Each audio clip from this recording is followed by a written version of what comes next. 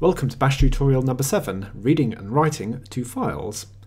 This is ideal to use with a customised script for reinstalling an operating system to make changes to some of the configuration files. So let's start with a variable of a file name, slash temp slash test.txt. And first off we're going to deal with a simple writing to the file.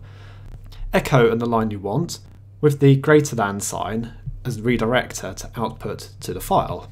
I'm using the file in the variable form. Now one greater than sign clears the file. Two appends line to it. So let's see what happens. So the contents of the file is clear file append line. Those are the two lines I wrote to it. Now for an alternate method using tee. You'll find tee useful for editing config files in the slash etc folder when they're owned by the root user. But first off, here's how you can check a file exists and create it if necessary. So if single square bracket not dash e file or directory and the log file, then we'll just tell the user we're creating the file and just use the command touch. Here's how to use tee. First you echo the line you want, then you follow up with another command using pipe, and that's tee, dash A, appends, and then you've got a file name. Now if you're doing a file in the slash etc folder, you would use sudo tee. Okay, so we're creating the file, then we see the echo on the screen, and then when we view the contents of the file, that is what is in there, what we've just echoed onto the screen. Brilliant. Right, let's move along to writing lots of lines to a file using an array. Because doing lots of echo lines isn't particularly efficient, if, so we declare a numeric indexed array, just using declare dash a, lowercase a, with the array name temp write. Now following from the previous tutorial where I showed about how to use arrays, we're just going to add a line into it. I'm not going to worry about the index number. So all work and no play makes Jack dull boy. And because that line is there, we want to write it a few times, don't we? So now I want to write that array in its entirety to the file. But I don't want them to be all spaced out on a single line. I want them to be appearing new lines like that. So use the command printf percent %s backslash n.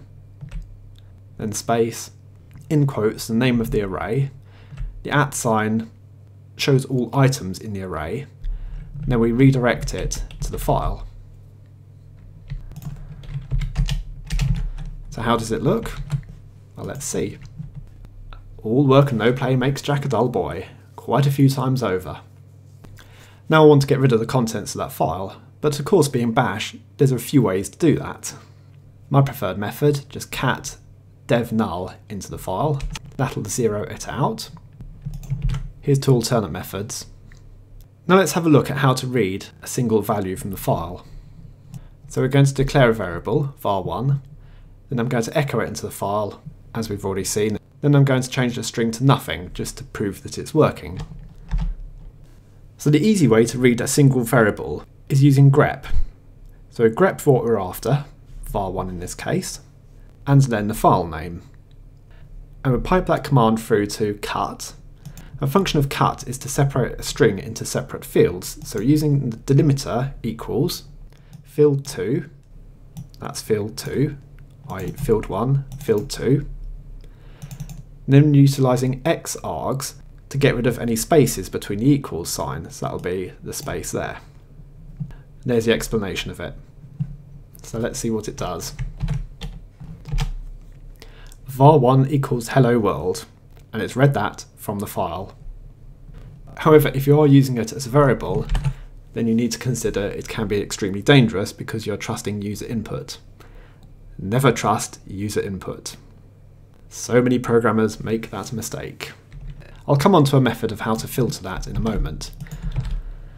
So firstly, let's look at reading all lines of a file. And this is almost a similar principle to what I'm using in my program NoTrack. I put in a few block list names with the equals and I'm just scattered them out and put some comments in there. A basic method to read all the lines of the file is using while and read. So that's while read dash r, then you specify the variable name I just call it line, then do. So echo out the line, then at the end you use done, and you're inputting, that is the less than sign, the file. Let me show you what happens. There you are, we have read each individual line at a time and echoed it onto the screen. But that's not good enough if you want to read the variable value off there.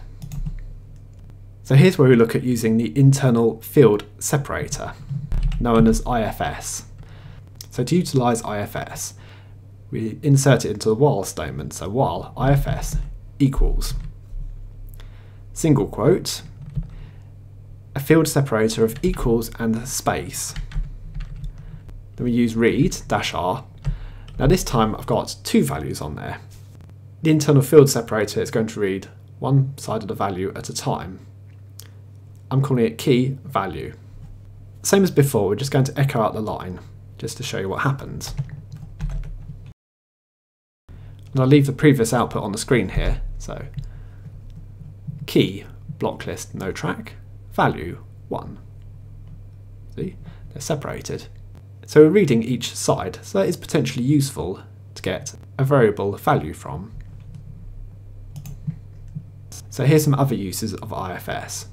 So utilising the dollar before it, like that, means it will read special characters in that string. Slash n, filtering a new line in Linux. Data that may contain a comment. Now you note the underscore here is just getting rid of any other values. It's like, yes, read a variable from it, but I'm not interested in what, what it actually is. Then the last one there, slash r, is Windows carriage return. Depending on the data you're handling, you may need to use the slash n or slash r. Now we're going to increase the complexity and filter the user input. If you're just doing a script purely for your own use, then this is completely overkill. But if you're using it in a program you're going to distribute to others, then it might be something you want to utilize. So I've created a function called filter int, filter integer, and we're going to pass few different values to it. So the value I want to check, the minimum permitted, maximum permitted, and the default. So this first line is a pattern match. So that basically pattern matches an integer, positive or negative. Then if that's successful, we're going to compare the number. Is it greater than or equal the minimum permitted value? And is it less than or equal to the maximum permitted value? And upon success, we return the value given to the function, value to check. And upon failure, we return the default value. We'll set some default values for the variables in case any are missing from the configuration file. So as before, I want to utilise IFS with the read key and value. But now I want to trim any comments that are in the string, any trailing spaces, and any opening or closing quotes. So because I need to evaluate each line at a time in order to set the variable, one of the easiest ways to do that is with the case statement. So we do case key in. And I give it the variable name, blocklist no track. So I'm going to utilise the filter int function. We'll pass the value to it, and I give it a minimum value of 0, maximum of 1, default value of 1, so true or false. And then I set the value of the variable as the function exit code. And because the weird way you have to handle exit codes in Bash, you can't just do this. Doesn't work. Now I know most programming languages would let you do that, not in Bash. So just to be a bit different, for the value of add block manager, I'm going to set a maximum of 4 and a minimum of 0, and for easy list, minimum of 0, maximum of 2. Why not?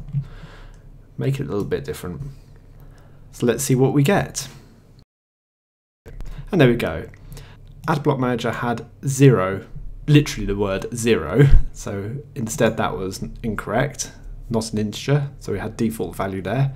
And for easy list, value was 3, I initially gave it in the file, out of range, so that falls back to the default. Only the first two were correct. And the final part of the tutorial, changing a value in a file. So using the same file as earlier, I'm just going to look for block list no track inside the file. And if it equals nothing, means the line isn't there. I'll set the value, so just echo and then use sudo tee, although in this case sudo is excessive, just tee because the file is in the temp folder. But if it does exist, I'll then, what I'm going to use is the command sed, sed-i, s forward slash, this is like the equivalent of regex.